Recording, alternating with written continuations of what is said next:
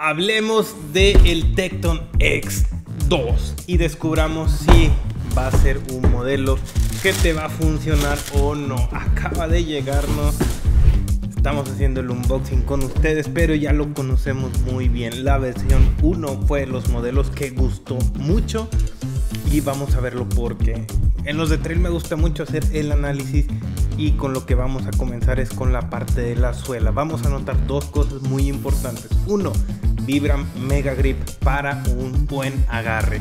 2. Gajos de 4 milímetros de espesor. No es tan agresivo, pero esto te va a estar dando muy buen agarre en terrenos más duros, en terrenos rocosos, en terracerías. Esto acuérdense que es donde nos damos cuenta para qué funciona el calzado. En la parte de la suela media tenemos dos componentes muy importantes también.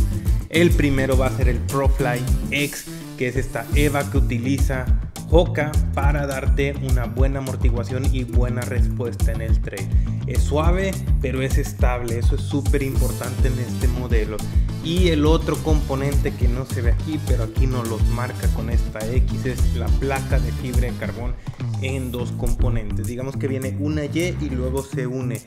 Entre él no es posible tener una placa completa en toda la parte de la suela media porque se va a romper. Sin embargo, lo que hacen es en esta parte viene así y lo, se une para que sea más flexible la placa, para que se pueda adaptar bien a los terrenos y sobre todo te pueda dar un buen retorno de energía. Esto es lo que busca este modelo. Y en la parte del upper mesh es donde viene el cambio principal. Una lo hicieron mucho más bonito y estéticamente también, pero dos lo hicieron más ligero, más transpirable al modelo para que puedas optimizar todo el peso y sea un buen calzado para esas carreras. Ahora, ¿a quién le debe estar funcionando este Tecton X2? Corredores que busquen tenis para trails cortos o trails rápidos. También trails técnicos te va a estar funcionando porque es muy estable. Este no es el modelo más cómodo de Hoka, es decir, si quieres algo todavía más cómodo, este el Challenger, este el Speedgoat o el Mafate, que es el hermano mayor de este.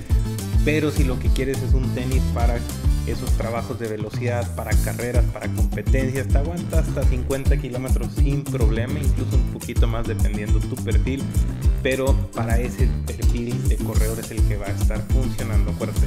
quienes busquen un tenis también que se adapte muy bien a todo tipo de terrenos, por lo bajo que es y por lo ligero que es, un tenis que sea para lugares técnicos, un tenis que sea para esas carreras que quieras ir rápido pero cómodo, el Tecton X2 es el que más provecho le vas a estar sacando. Si tienes duda, déjala aquí en los comentarios.